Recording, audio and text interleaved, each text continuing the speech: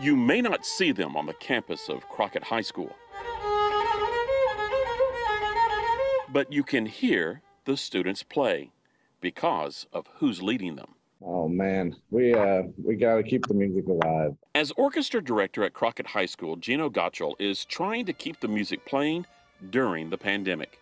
Because without it, it's just uh it seems so bleak. For the past several weeks, Gottschall has conducted music class with students in person and online.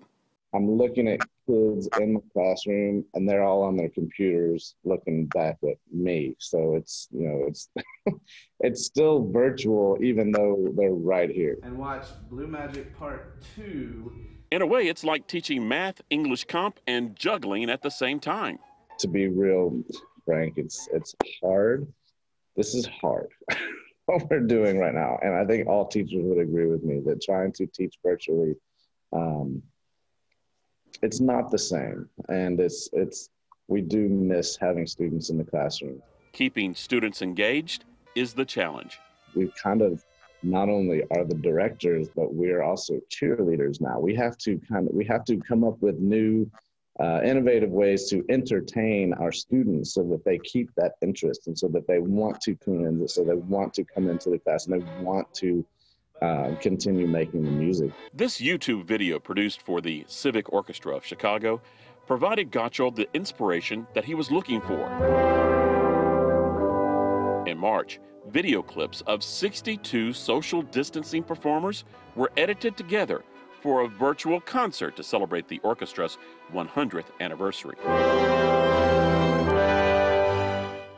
Ironically, the group in Chicago was founded during the outbreak of the Spanish flu. Now, during this new pandemic, Gino Gottschall is trying to recreate that virtual performance with his students. Instead of a music stand, Gottschall is now directing from a computer screen. A lot of technical issues are, are involved here. Building a digital orchestra, one audio clip at a time. For the students, the assignment is a life lesson the technology that we're having to use right now really is the future because regardless of COVID, this is where we're headed, right? He knows that because he's part of the change. Stay with me till the end of time. His band, Gino Gottschall and the Rockholics, has performed on Fox 7, but like other bands, they've struggled to find places to perform during this pandemic. Going virtual is the new stage it's not about the money anymore. It's just about this is our life, this is our creative outlet, and it's got to come out in some way. And it's going to come out regardless of whether we get paid or not.